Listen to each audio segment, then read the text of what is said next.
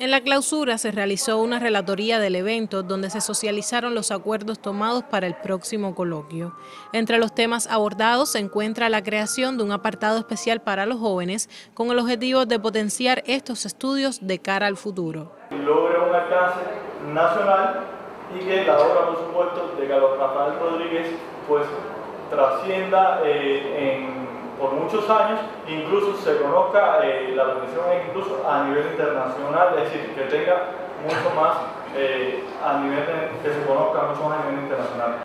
Diana Rodríguez García, hija del intelectual, donó a la Universidad de Cienfuegos los títulos de profesor e investigador emérito otorgados por la Universidad de La Habana y la Academia de Ciencias de Cuba respectivamente. En este Cienfuegos ilustre encontramos una comprensión real del rol a desempeñar por la juventud como fuerza transformadora en la lucha por la realización de las conquistas sociales y garantía de la continuidad de la revolución.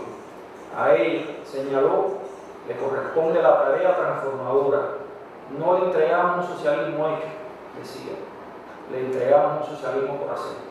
El premio honorífico Carlos Rafael Rodríguez fue otorgado al director de la Oficina del Historiador, el máster en Ciencias Arquitecto Irán Millán y Orlando García Martínez, presidente de la UNIAC en el territorio, dos personalidades imprescindibles del quehacer histórico y cultural cienfueguero.